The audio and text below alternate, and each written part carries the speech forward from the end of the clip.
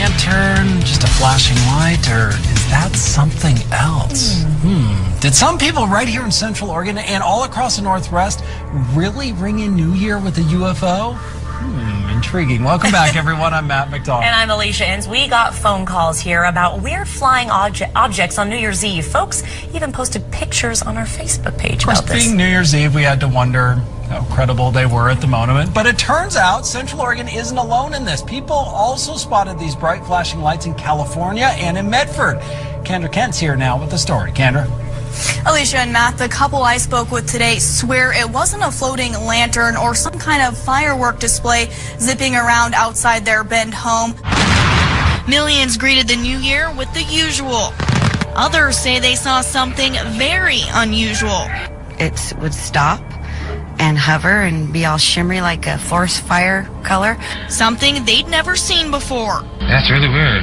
Yeah, because you can see all different kinds of lights on it. This is video Pam Stewart of Bend shot outside her home on New Year's Eve.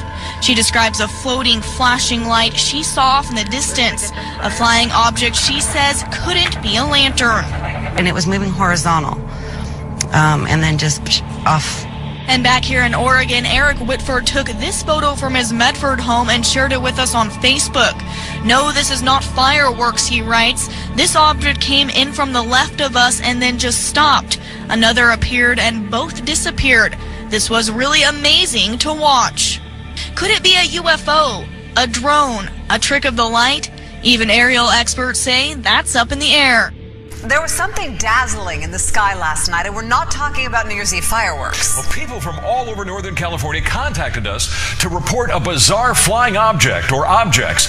Most of the sightings happened just after midnight. News 10's George Warren spent the day trying to identify the unidentified flying objects. Well, we saw it right through the trees. It was bright enough to shine directly through the trees without any problem seeing it. Stephen Brown watched it over Sacramento. Hans Mount spotted it over Auburn. Kind of approached from over that direction and came across kind of slow. Did they see the same thing that Kay Pinlack saw in Stockton? Pretty much right above this palm tree here. Multiple objects, he says, captured on his iPhone. I, I seen like six bright orange color lights. And they're like in, almost in a diamond or triangle shape. They're, it was weird. And so they started just separating. You see that other one up there on the right, though? And not just Northern California. Somebody posted this video from the Hollywood Hills on YouTube. Multiple glowing objects out there among the New Year's Eve fireworks. And now it's three There's more. two, there's two of them. No, no, no. There's One, three two, all together, right? Four. No, it's It's four four. now. In Auburn, Hans and his wife Terry saw it a few hours earlier than the other sightings.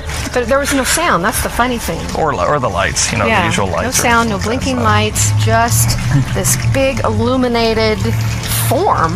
And whatever it was moved up and to the left. Uh, it hovered there for probably about 60 seconds. And then it took off at a high rate of speed, out of sight, directly away from us, and just disappeared. Now, an FAA spokesman tells me that there was no unusual aircraft activity reported to the FAA last night. If this was some sort of hoax, it would have to be a pretty elaborate one because it was seen by so many people all over California. Well, yeah, up and down the state, which is interesting, and, and within hours of each other. Yeah. The earliest sighting we heard about was about 8 p.m. up in Auburn. Uh, Terry and Hans, uh, they said it was just a single object they saw, very uh, moving unnaturally, too fast for a balloon, too slow for an airplane. Uh, in Sacramento as well, Stephen said that it was a single object hovering and then streaking away. And then, of course, down in Stockton, the, the multiple objects, as in uh, Hollywood. That's the interesting part, that it was hovering and then it started cruising. That suggests, yeah, it's not a balloon or There's some candles. intelligent control of this thing. We are beginning tonight with those crop circles and a mystery of who or what created them in a field near Chualar. Action News reporter Felix Cortez is live at the scene with tonight's top story. Well, Aaron Dan, who or what created that crop circle? That's the big mystery in this field just behind me. This is what was discovered Monday morning in a field just outside Chualar. A huge crop circle in the middle of a grass field. By early afternoon, the pictures and story had gone viral, and looky-loos started showing up in droves, hoping to get a glimpse.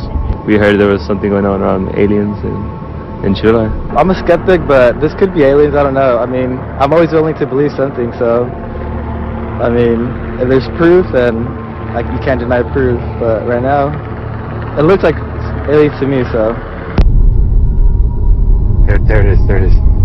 Something happened in this field overnight. This YouTube video shows strange bursts of light near the crop circle. By daylight, this is what we saw overhead.